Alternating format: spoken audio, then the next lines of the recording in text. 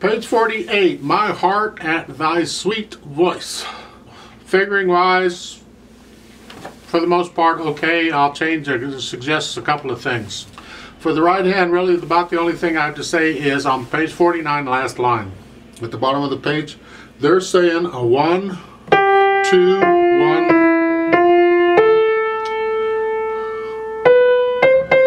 I don't like that. Okay, you can finger it that way if you want. There's nothing wrong with it. I just don't like it. I'm going to go here. Start with a one, and rather than a two, I'm going to go with a three. That's a three two, and then I'm going to put a one on the thumb, the thumb on the F. So I can put a two on the A, three, and then four five for the two C's. I like to use different fingers for the same note. In the left hand, take a look at the fingering they're suggesting on page 49, second line. The first measure, you have a C, and then a chord, and then another, the first inversion chord. It's still a C chord, this is first inversion. Following that up with the last two measures, same line, it's an A, A minor chord, okay, the second inversion by the way, and then. When you're playing inversions of chords like this in pieces, there's another way to do this, all right? And the, the idea is we try not to move the hands in piano playing any more than we have to. Because every time you move a hand, it gets tricky. Even a simple move can be tricky. You know, you probably figured that out on your own already.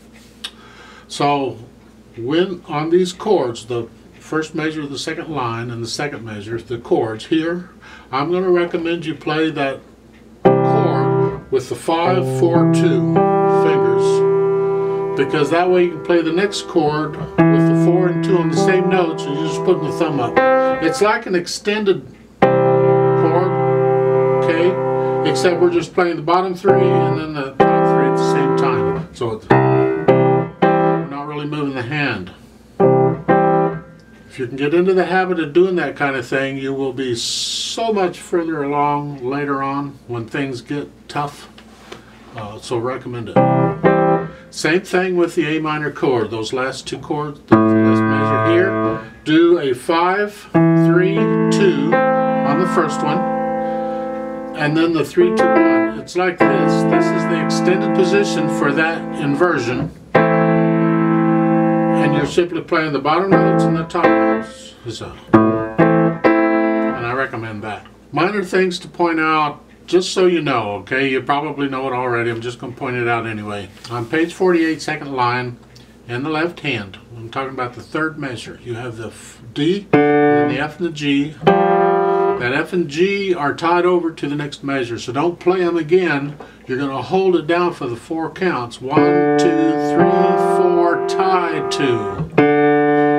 And that happens in several places where it's tied across a bar line like that. Just make sure you hold it down. As far as the pedaling goes, same as we've been doing in the past, uh, like at the very beginning, you're going to push the notes down and then pedal don't like the word push, I'm sorry. I just talk as a talk. You, you know how to yeah, work those notes, yeah. And I'm going to lift the pedal up as I play the second beat in the second measure. Because it's the same phrase, there's no break in the sound, so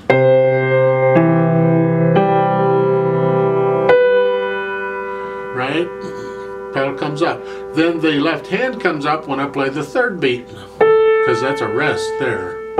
And that gets two counts. So it's one, two, three, four, one, two, three, four, one. And that happens all over. So practice that coordination.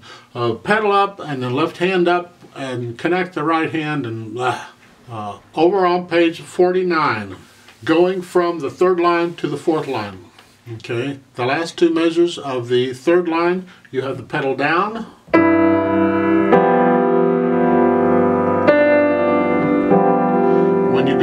fourth line, lift the pedal up with the hands so we get a break in the sound because it's between phrases.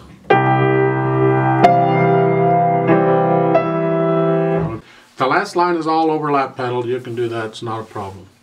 In the last two measures of this, in the left hand, we have those chords again, the inversions. We have the root chord, the first inversion. Again, finger it so it's an extended fingering pattern. So um, in the next to the last measure on the on the chord, you're playing five, four, two, and then for the last measure, it's four, two, one. So you're not moving your hand. Now, if you're really, really little and your hands aren't big enough, you can't do that. You can't stretch an octave yet. Then you have pretty much have to move your hand. But I'm talking about assuming your hands are big enough. At the top of page 49, the last measure, they're recommending you lift the pedal at the beginning of the measure. So in the measure before to have it down. Recommending when you play the G, you lift the pedal up. It's up to you. You can leave it down for the whole measure if you want. I don't see a lot of difference. I kind of like having the sound go all the way through. Make sure you lift it up before you go to the next phrase. So it's up to you. I- will probably keep it down. I, don't know what I'm going to do. We'll find out when I get there. On page 49 in the third line down, the first measure, you know, the melody, of everything's fine. I would recommend a third finger on the F rather than a 2.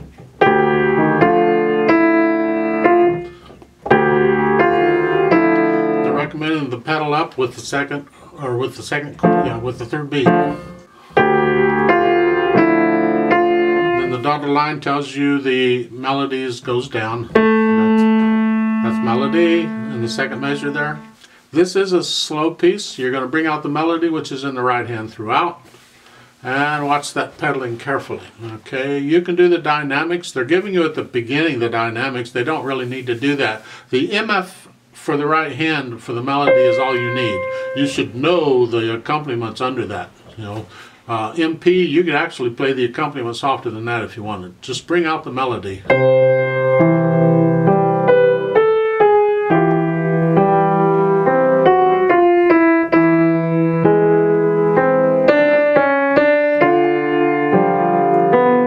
You'll find recordings of this on YouTube, so you get an idea how it sounds. They may not be this arrangement, but you'll get an idea of how it sounds. So 4-4 time, I'll give you four counts and we'll play it together. Hands where? The right hand is here. Yep. Left hand's here, foot's on the pedal. Okay. One, two, ready, go.